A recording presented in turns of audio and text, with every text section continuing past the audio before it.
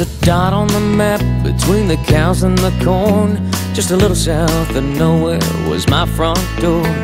My family ran a five and dime on the corner of Third and Main. Well, life moved slow in that sleepy town. The streets rolled up when the sun went down. My big dreams didn't fit in a place that small. So I moved to the city and ran that race. It didn't take long to feel out of place. Had to get back home where I belong.